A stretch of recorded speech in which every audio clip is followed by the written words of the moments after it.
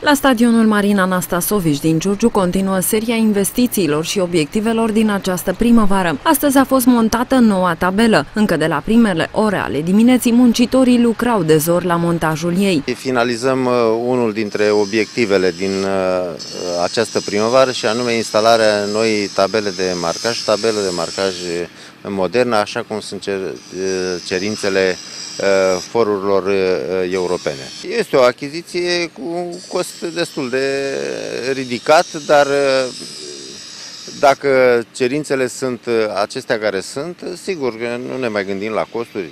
Noi, clubul, nu s-a gândit niciun moment la cât va costa, ci important este să rezolvăm problemele la standarde europene.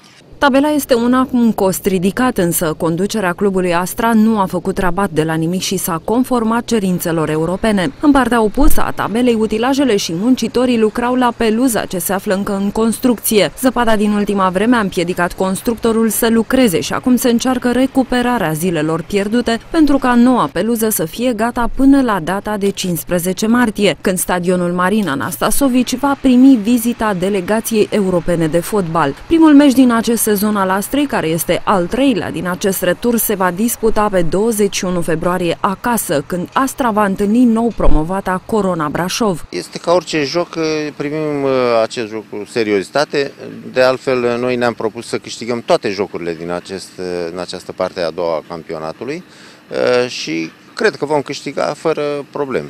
Biletele pentru această partidă se vor pune în vânzare cu două zile înainte de meci, adică pe 19 februarie. Costul unui bilet va fi de 20 de lei la tribuna 1, 15 lei în prima parte a tribunei a doua și 10 lei în partea neacoperită a tribunei a doua.